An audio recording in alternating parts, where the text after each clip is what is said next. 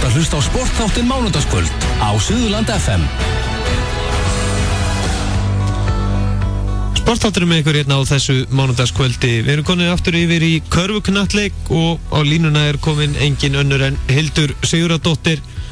Uh, ég má slett á ennsku legend í íslensku körfubólta. Heil og sæl. Já, blessaður. Hvernig hefur það? Ég hef bara nokkuð gott. Herru, þú ert komin í þjálfun í körfun eða hefur náttúrulega alltaf verið í kringu þjálfun eða ekki í körfun er hindar? Jú, ég hef eh, aðalega verið að þjálfa ungar stelpur en, en eh, skellti mér í meistarflokksþjálfun í leður. Já. Og það eru nú samt líka unga stelpur? Já, ég er með mjög ungt lið og hérna ungt og skemmtilegt lið en, hérna, en þetta er aðeins, aðeins öðru í vinna en, en með algjör að byrja fyrst. Mhm, nákvæmlega. En uh, já, uh, fyrst til hvenna þar eru fimm lið sem betur fyrir en ekki, uh, en ekki bara fjögur. Já, Uh, þetta er búið að vera ríkalega spennandi og skemmtileg deild svona hinga til. já, það er bara, þetta er nokkuð jöfn, jöfn deildin segja og hérna allir leikir uh, jöfnir og, og ná flest allir leikir er búin að vera bara nokkuð spennandi og hérna en eins og segir það er, það er ágætt að sé allan fimm liði deildinni það það var svona spurning í sumar hvernig, hvernig þessi deild er þið Já. en, en, en það er ágætlega að rætast úr deildinni. Að, að hérna við erum að fá alveg leiki. Mm Og já, kemur aldrei svo tilfinning á þér að þú ert að þjálfa svona hlýðalínunni að þið langi að vera inn á? Jú, jú, auðvitað, uh, það er gaman að spila hverjumvölda og, og, og allt það, en hérna, ég er með stóran hóp og, og það er bara ekki pláss fyrir mig á æfingum, Nei. þannig þannig að ég einbytti mig bara þjálfinni. Já, það er nú, já, ein, já, við vorum að tala hérna fyrir við Sverið Þó Sverið, hann var að benda okkur að það, hann var með eitt færtugan leikmann sem, hérna, þú þekkir ágætlega það ekki?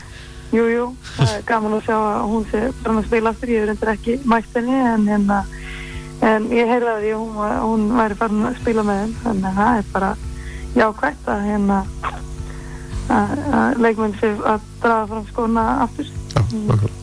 En uh, já, það var í fyrradag, uh, þá var leikur uh, Káur og Breðabliks, uh, já, maður heyrði utan á sér að það hafi verið bara frábær mæting í húsið og, og það hafi verið þarna yngri yðkendu Káur sem bara gáu Káurstelpunum bara aukinn kraft í, í, já, gegn ykkur. Já, já, það var uh, flott umgerð á leiknum hjá káringum og, og, von, og greinlegt að káringar eru einhverjum stíl lóðan að hvenna megin. Mm sem er bara mjög jákvægt fyrir káir og, og hvernig korfuboltan Já. að félag uh, hugsi til begja liða Mhm. og hérna og það, já, eins segið bara fótt umgjörð og, og Pálmar var mættur hérna með, með flottan drengjakór hana á, á pallana sem hvert er áfram. Já. Mhm. og, og það var bara virkilega gaman að sjá. Það, og ég held áhörundur alveg fengi ákveðist leik. Það var bara jafn leikur. Og hérna, þetta káir megin það skiptir. Uh, þú þekkir það náttúrulega í gegnum tímina, í gegnum, já, tíman að það er búið að vera mjög rokkandi svona hvernig deildin, hvernig hún er, það er oft góð lið, bara tímabundið hjá félögum og svo reynir allt niður. Því það fer kannski heil kynslu þarna í burtu. já, það hefur það var kannski sérstaklega núna fyrir þetta tímpilina svolítið uh, eftir dóminstöldin var svolítið svona útreiknuleg myndi ég segja hvað, hvaða lið myndi ná að, púsla sér saman allir með fullt af nýjum leikmennum og sem er bara búin að missa mikið frá sér Mm þannig að það er eitthvað já, leikmenn er mikið, búin að vera mikið að sig á milli liða. Og hérna og þá kannski brotna niður starf hjá félögum er að margir leikmenn fara saman úr úr hérna, úr liðanum Mhm. en, en það er bara að halda áfram og halda áfram að byggja upp og, og sjá hvað er hægt að gera betur þannig að það sé hægt að halda í leikmenn. Náttúrulega svolítið undir, undir stjórnamönnum og, og, og fólki kringum félagið að, að gera starfa aðlægandi þannig að leikmenn vilji, vilji vera áfram. Já. En uh, það er uh, já, eins og bara núna hjá landsliðin okkar hvenna, uh, það eru svona má segja þessi svolítið kynslu skipti þar. Ungar, ungar etnilega stelpur að koma þann inn og, og þær gefa ekkert eftir. Nei, nei, en, það er alveg bara mjög, mjög harðar og, og bara gaman að sjá að, að það eru fullt af góðum leikmenni sem við eigum og, og segja að það væri bara nokkuð bjart framöndan hjá, hjá landsliðin okkar. Það eru leikmenn út í bandaríkjana sem fara uh, held ég að klára námsveit úti og, og skila sér þá vondi heim eða til Evrópu og, og geta þá beitt sér í landsliðsverkefnum. mm -hmm. Þannig að ég held að landsliðið eigi bara eftir að, að, styrkjast núna með árunum og hérna og erum eftir að koma því á, á, á stærra svið innan fara ára ég. Mm okay. Allan er svona útlitt fyrir það og já, sé verið að vinna svona góðu framtíðaverkefni Já, það er alveg það er svona, kannski kom tími á að, setja aðeins mér að búður hvenna meginn og hérna, og tekist vel kalla meginn og, og þeir eru aldrei búin að finna hvað er hægt að gera og hérna, nú er bara komið á okkur hvaða fólkinu er að hérna stíga næstu skref og gera þetta á alvöru. Uh, Þegar þú byrjar að spila með mestraflokki, voru þá mikið um reynslubolta eða sem, sem voru áfram í körfinni, nú er mikið talað um það að stelpur hættu og snemma í körfnalleg Já, ég hann að jú, jú, þær voru alveg svona upp undir þrítugt alveg að spila með mér sko það er svona, já, alltaf sé ekki nýtt kringu þrítugt sem að það eru að týnast út mm -hmm. uh, en ég veit ekki síðan en að uh, ég veit ekki alveg hvað er það er kannski, þú veist uh, en að segja en ég menna leikmaður í Dominus del kalla þeir eru kannski uh, fá aðeins meiri styrk fjárhagstega og þess aftar margir. Og Mhm. hérna meðan stelpur eru kannski að æfa jafn mikið og vinna og í skóla og, og kannski verður þetta bara aðeins svo mikið. Já, um það er kannski munurinn svona þú veist. Þú þarft að harka svolítið vel að þér til að, að hérna, láta allt ganga upp sko. Að Mhm. hérna og það ég menna að það fullu í, í úrvarsfjöld í Körbáltar og, og, og í fullu háskólina með hann lítið tími til að vinna en ma- maður svona hefur reynt að koma inn einhver klukkutími til að hafa svona aðeins eitthvað. Já, nákvæmlega. Þannig að ég hugsa að það sé svona pínu ástæðan fyrir því að stelpunar tóla skemur í boltanum. En uh, já, svona, ef þú lítur núna á Dominusteild Kvenna, þú- þá má segja já, þar er nú ekki síður uh, mjög jöfn deild Já, og Já. mikið að svona, já, það verðist, uh, það var nú mikið talað um það eins og Njarðvík myndi verið í vandræðum, Haukar í vandræðum og, og svo framvegis, uh, já, þetta er búið að sína sig allt aðra menn heldur en, já, svo kalluðu spámenn voru búin að segja.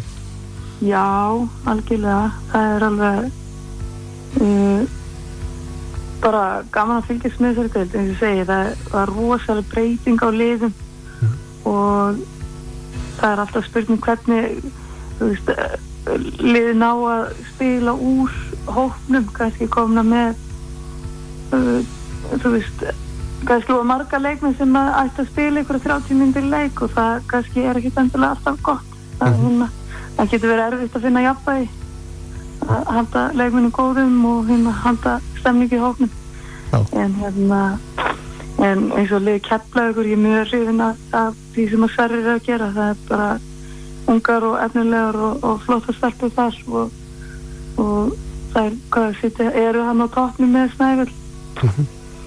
Sem er bara, já kannski þeim var held ég ekki spáð svona ofalega. Nei, nákvæmlega. Mm, og eins og Haukar og veist, þeim var það var svona við öllum spám bara á það verða bara í vandræðin en, en, en það, þetta er ekki næstu liðin sko, Njarðvík situr í fjórðarsæti og Haukar nýju sjötta. Þannig að það er lið hann fyrir neðan sem að kannski eiga eftir að rífa sig eitthvað í gang. Það er að hann farið hægt að stað eins og Valur og Grundavík sem er með landslýst leikmenn og, og, og, og það er svona leikmenn sem að, sem að ættu örgulega að geta gert eitthvað betur. Já, nákvæmlega. en, en það er spurning hvenar það er rökkvilt gang. Uh, lendið þú tíman í því svona á ferlinum? Uh, þú náttúrulega varst alltaf uh, að þú, að það hafi komið í hugaðar jættvel að hætta í körfu af því að það hefði ekki verið svona að hvenna karfan var ekki síndins mikinn áhugi eða eitthvað svo leiðis Nei, ég, hérna, ég held ég hafa alltaf haft það gaman að þessu sko, ég hérna, uh, nei, það var ekki, þú veist, ég var, hvað, þessum tvö síðustu ár mín, þá var ég alltaf, na, ég er ekki verið gott. En hérna, þá var ég finna einn búin að vinna allt og, og svona, þú veist, ekki meitt en alltaf svona pínu eitthvað, þú veist, ekki, ekki alveg 100% á daginn kannski út af einhverju verkjum í, í fótum og annað þannig að þá fyrir maður að hugsa svona hvort að, hvort að maður þú veist, er ekki hægt að áður en að maður gengur frá líkamann mm -hmm. ég slapp algjörlega við meðst og annað og, og hérna, maður hætti með það þannig að þannig að, já, hvað hægt að áður en að sáskjallum myndi koma. Já, nokkarlega, einmitt. En uh, já, það er búið að setja upp þarna núna svona, já, firmanót svolítið skemmtilegt svona, já, bjeliða keppni kvenna. Og já, ég heyrðu utan að mér að þetta væri bara, já, hérna allskins leikmenn sem koma bara hérna og, og leika körubólta Já, ég hann að þetta fór einhverja einhverja hluta vegna fram hjá mér, ég veit ekki, það er kannski aðeins, aðeins svo mikið að gera þessu dagana en, hérna, en ég hérna frétti, frétti aðeins aftur á að hérna uh, nokkur, já, hérna erður leikmenn að að taka fram skóna. Já. Bara mjög jákvæmt að hefur, hefur maður hefur oft heilt af því að stelpur eru svona að reyna eitthvað ógörls eitthvað en Mhm. það er einhver erfiðara en, en hjá kallmennum það er eins og hvað fólki sé svona einhvern veginn bundara ég veit það ekki Já, er að eitthvað með samansupbyttið er heimilinni eða eitthvað? Ég veit það ekki. Það, það drífa sig ekki út og fari og, og upp alltaf Já, enda eru bara eins og maður segir hvern menn eru miklu duðleri Það er bara þannig. Það, er- það er bara þannig. Já, já, það er engin spurning, allan á mínu heimil er það þannig. Já, já. Nákvæmlega. En uh, svona í slepptur uh, já, uh, tímabilið í fyrst deildinni þetta má ekki segja að þetta verði bara svona uh, skemmtileg tímabil svona uh, fram á vor? Jú, þetta verður bara spennandi leikir og hérna og greinlegt að, að það er allavega hérna hvað fjölið sem að stefna á að fara upp um deild. Mhm. ég hérna, ég hugsa að keflaði BS ég ekki endilega að pressa á að fara upp um upp um deild.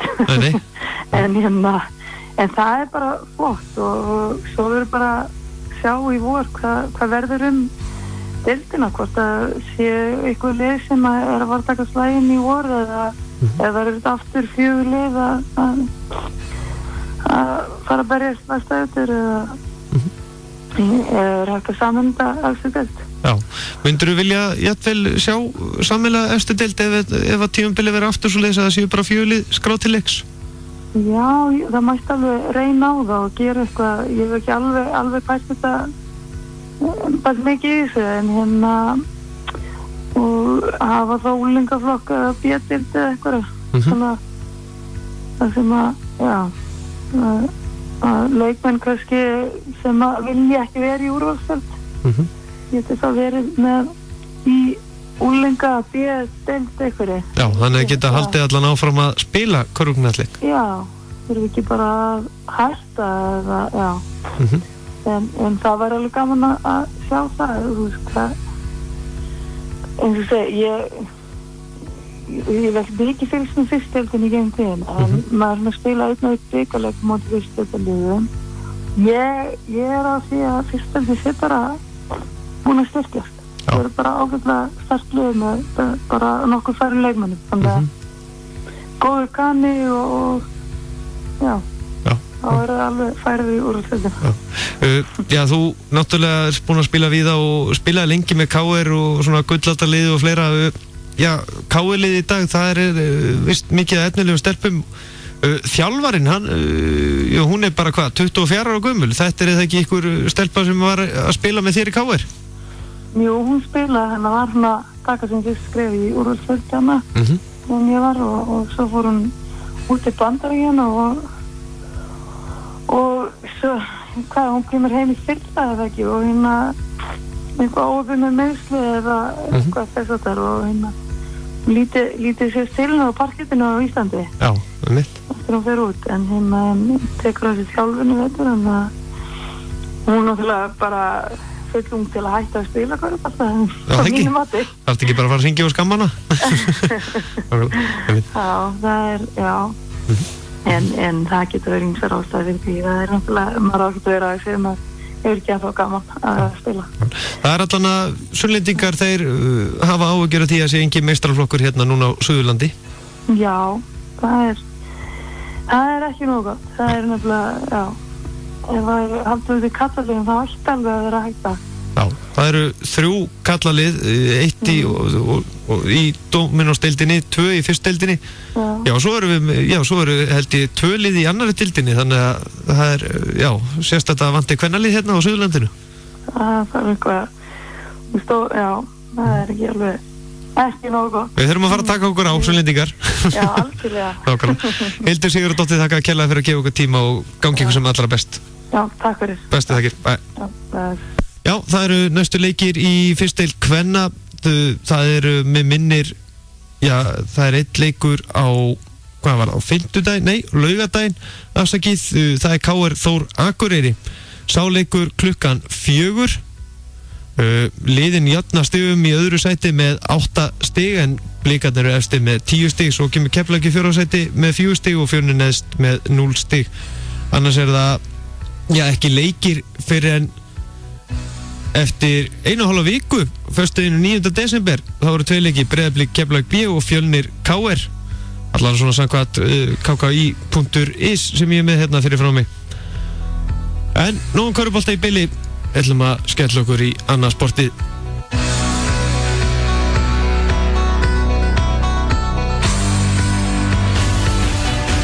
Þú ert að hlusta á sportþáttin Mánudagskvöld á Suðurland FM